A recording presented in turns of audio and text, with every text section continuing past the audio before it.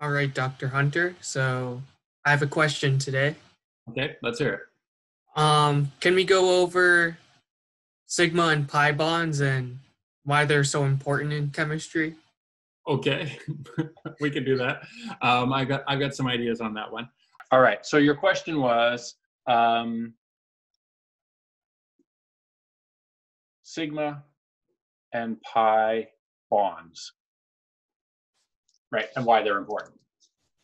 Um, so uh, sigma, sometimes you'll see with the Greek letter sigma, and sometimes you'll see it written with the Greek letter pi, all right? Um, as a general rule of thumb, a place you can start is that there are a lot of bonds that are single bonds, that are sigma bonds, but it's not absolutely uh, uh, guaranteed that that'll be the case, but it's it'll certainly give you a, a place to get started. And pi bonds, almost always you'll only ever see them if you see double or triple bonds. So far, so good? Yep. So um, let's look at sigma bonds for a second. Okay, so a sigma bond is the bond that you get when um, you look at two atoms. So here's atom one and atom two.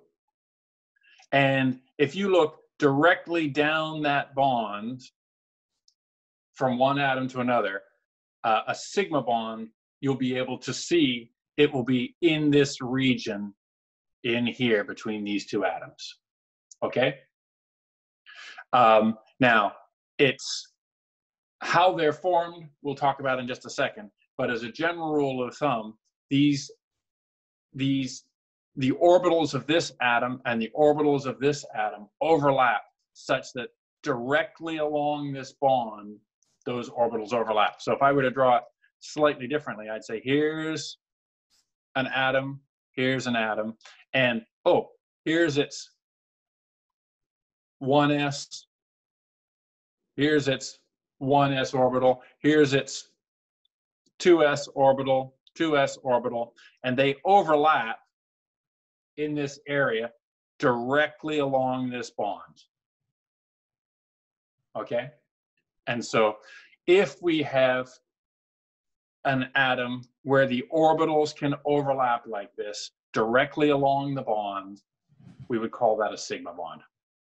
Um, in my head, I always think of sigma as being kind of like the primary, the main bonds, or the most common ones, and the, the easiest to understand and the easiest to explain. Okay?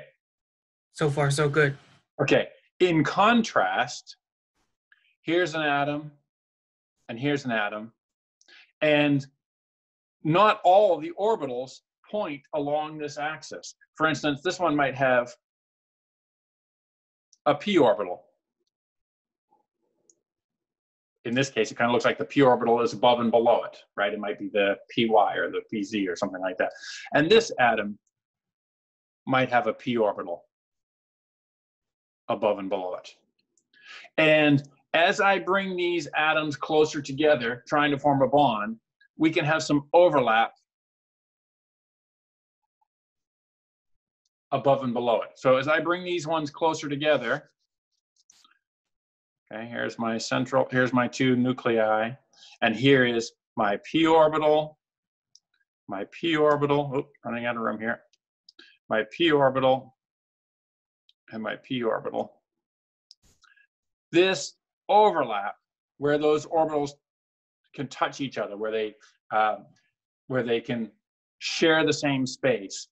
That'll that bond between these two atoms um, can help hold these together. But the orbital isn't directly down the path between the center of the nuclei. It's kind of over here on the side, over above or below. And this type of bond is called a pi bond. If it if it if the bonding takes place not directly between down the down the axis joining the two atoms together. How'd I do? Okay, so the sigma bond is the straightforward like like you said, the most basic overlapping of orbitals. But Yeah. then the pi bond is in the, in your example with the p orbitals, and it's not as straightforward. Yeah, um, I think I just thought of an analogy, which I have to say I've never heard before, but maybe people use it all the time. This is more like the atoms doing a handshake, mm-hmm. right? Mm-hmm.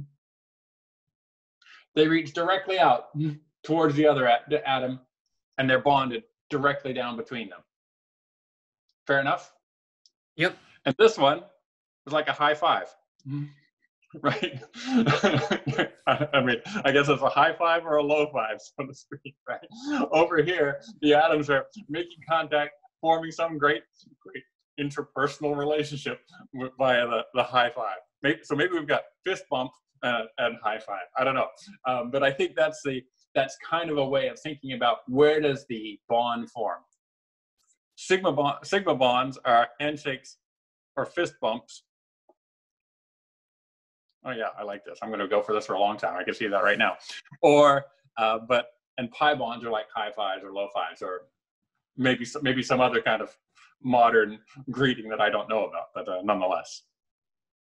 How, how does that does that work for you like that? Yeah, I, I think that's a fine enough analogy. Whether you agree or if you dislike it or like the analogy, I think it works. I think my only other question is that you mentioned that pi bonds or more with double and triple bonds. Um, does that mean that double and triple bonds are only pi bonds? That No, there- No, it doesn't mean that. In fact, actually, let me uh, let before I before I deal with that, let me let me come back to the sigma bonds just a little bit more because um, right now I've made it seem like sigma bonds come from s orbitals, and they don't solely come from s orbitals. So I'm going to get to a new. I'm going to give you a, a, a couple more sigma bond ideas. Okay, so here is my one atom. Now, now I'm going for the little atoms apparently. And so we've talked, I mentioned that we could have s orbitals around the outside of those uh, of those atoms, and they could overlap directly down this path. Well, it's not just s orbitals that point down that that point directly down the handshake, down the uh, down the uh, down the fist bump path, um, because there are p orbitals, some of which that are we've just discussed for the the pi bonding, but there's also p orbitals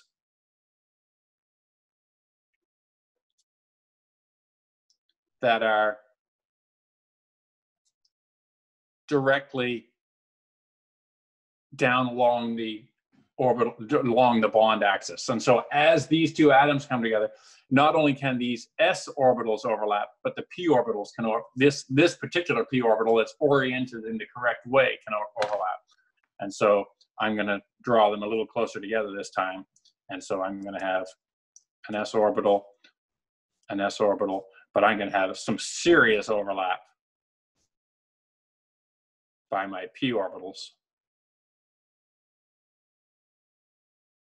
And so this overlap here along those p orbitals, it's a sigma bond because it is directly down the orbital, uh, directly down the bond axis between this first atom and this second atom. And so um, anytime we can arrange orbitals such that they are, they overlap conveniently directly down between the two atoms, that's a sigma bond. And so there are the s orbitals can do it, the p or some p orbitals will do it at times, as as well as some d orbitals if they can bond directly down the orbital path, down the down the bond path. Okay, so what was your question? Because this is a this is a different question I answered. What was remind me what your question was? that so double and triple bonds are only made up of pi bonds? Um, no, I don't think so because I think um, I got to think about this for a second. Okay, so I've got an atom and it's triply bonded. So let's say a uh, a carbon to another carbon with a triple bond and a hydrogen and a hydrogen. Okay, so one of these bonds is going to be directly down the axis. So it's going to have a sigma bond. But these other two bonds are bonds that come from uh, um, overlap of p orbitals. And so this triple bond is going to be made up of at least one sigma bond, and I think it's made up of two pi bonds. And uh, and so um, because there is there's going to be something there's going to be some orbital overlap directly along this axis between the two atoms, and then I'm going to write a little pi and a little pi here, and then there'll be some bonding that's overlap of these uh, of the p orbitals in this case, and uh, and so uh, a triple bond um, definitely has some single bond sigma bond characteristic, and but also has some pi bond pi, pi bonds in it as well. Okay. Is that, is, that, is, that, is, is that where you wanted me to head on that one? Yeah. Yeah. So double and triple bonds still also have us that basic sigma bond yeah. in them. Yeah. Yeah. Yeah. And and I think it's just a way of us trying to understand uh, how various orbitals are used in trying to hold molecules together. Um, and it's um, and I guess yes, there will. All, I, I I'm trying to think if there are examples of whether you could have pi bonding without also in a sigma bond, and I can't think of any examples right now um, because you ha- you have to have. Uh, there's going to be something that's going to be aligned. It's easier to align directly along the bond axis, and so you're probably always going to have to have some sort of sigma bond. Uh, but you can but you can also have additional bonds, the pi bonds that go along with that I've tried to show with the overlapping here it, it, it's easier to fist bump, but you can also give out high fives if you want. yeah, I, I think so, something like that. Yeah, yeah, yeah. Even, even, even, yeah. Tall people and short people. I'm, I'm sure there's a, a tall, short, per, and a short person analogy here somewhere, but I can't think of it like that. Thanks for, thanks for the question. Thank you for answering, Dr. Hunter.